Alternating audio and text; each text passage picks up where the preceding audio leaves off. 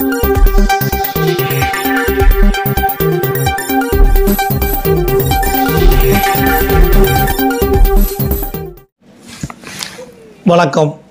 புலித்தேவர் மக்கள் முன்னேற்ற கழக மாநில நிறுவனத் தலைவர் பவானி வேல்முருகன். மரணமே காணாத நெல்கட்டான் செவல் தந்த மாமன்னர் புலித்தேவரை வணங்கி இந்த பதிவை நான் செய்கின்றேன். அனைத்து அண்ணா திராவிட முன்னேற்ற கழக பொதுக்குழு கூட்டத்தில் திரு ஓ பன்னீர்செல்வம் அவர்களும் அண்ணன் அன்பண்ணன் வைத்திலிங்க அவர்களும் அவமதிக்கப்பட்ட செயல் மிகவும் கண்டிக்கத்தக்கது.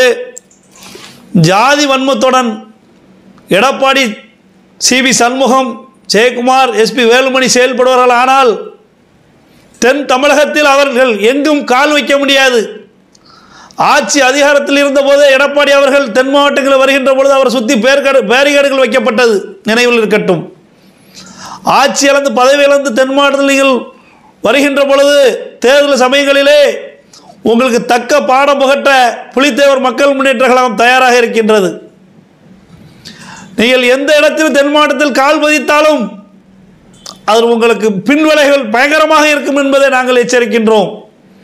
அனைத்து இந்திய அண்ணா திராவிட முன்னேற்ற கழகம் உங்களுக்கு மட்டுமான சொந்தமான சொத்து அல்ல முத முதலில் அனைத்து இந்திய அண்ணா திராவிட முன்னேற்ற கழகத்திற்கு முதல் வெற்றியை திண்டுக்கல் எம்பி தேர்தலில் பெற்றுத்தந்ததும் மாயத்தேவர்.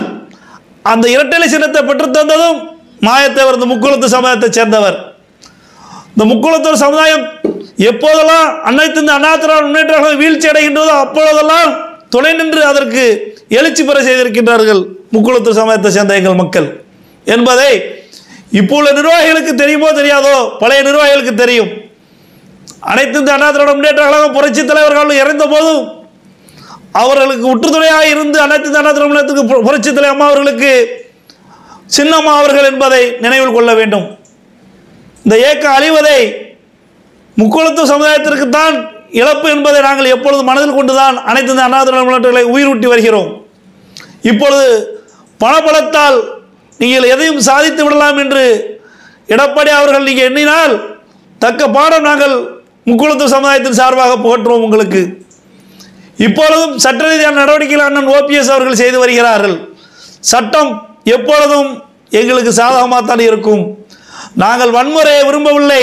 நீங்கள் வன்முறை விரும்பினால் அது விளைவுகள் பயங்கரமாக இருக்கும் என்பதை எண்ணிக்கொள்ளுங்கள் எடப்பாடி அன்கோ. சிபி சண்முகம் உன் நாவை அடக்கிக்கொள். உன்னை வன்னியர் சமுதாயமே உன்னை கொலை செய்ய முயற்சித்த போது உன்னை காப்பாற்றியவர்கள் சின்னம்மா குடும்பத்தார்.